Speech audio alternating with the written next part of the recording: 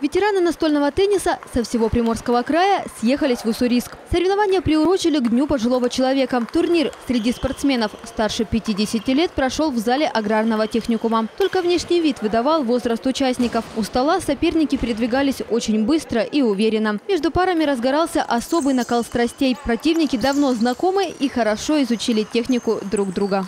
В первую очередь едут за медалями, за грамотами, за ну, честолюбие свое выражают. Ну и а дружба, она, конечно, непреклонна.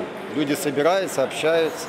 Сергей Подгородецкий из Уссурийска – один из старожилов турнира. В этом году теннисист отметил свой 65-й день рождения. Еще со школьной скамьи он начал играть настольный теннис. Постоянная практика позволила спортсмену усовершенствовать свою технику. И за годы Сергей Эдуардович скопил большой багаж опыта. Но награда за труды не сразу пришла к усердному спортсмену. В 1968 году я последний раз тогда стал призером первенства города. В следующий раз призером первенства города в личном первенстве я стал через 33 года, в 2001 году. Вот, так что совет всем, если не выиграли, лет через 30 все равно наверстаете. Среди участников было и четыре представительницы слабого пола. Если мужчины играют ради азарта и борьбы, то женщины в первую очередь думают о возможности сохранить хорошую форму. Подвижный и активный настольный теннис как раз помогает в этом. Я там бегаю, прыгаю, если я не буду ходить, я буду полнеть.